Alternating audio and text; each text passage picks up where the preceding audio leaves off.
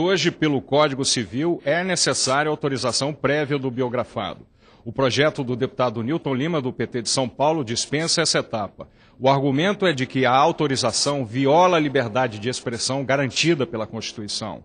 A iniciativa despertou polêmica porque artistas de peso da MPB, como Roberto Carlos, Chico Buarque e Caetano Veloso, se declararam contrários à obra.